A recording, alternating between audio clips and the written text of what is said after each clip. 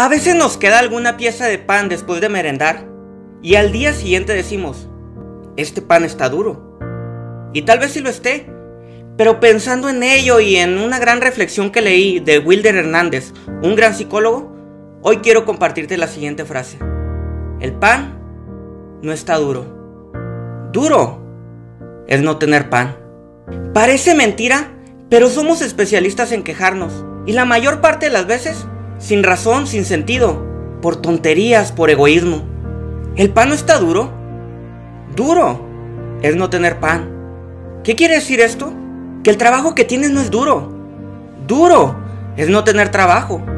Que tener el carro dañado no es duro. Duro es no tener un carro. Que por tener el carro dañado y tener que caminar a tomar el autobús es duro. Eso no es duro.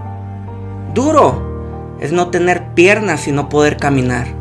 Comer arroz con sardina no es duro. Duro es no tener comida. Perder la causa en algún problema familiar no es duro. Duro, y créeme, muy duro, es perder un familiar. Decir te amo mirando a los ojos de otra persona no es duro. Duro es decirlo frente a un ataúd o un féretro donde ya las palabras no tienen sentido. Quejarse no es duro, duro es no saber ser agradecidos.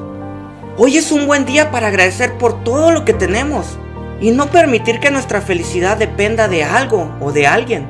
Nuestra felicidad depende de cuántas veces al día miremos hacia el cielo para agradecer. La vida no es perfecta, pero es maravillosa cuando la vivimos en Cristo.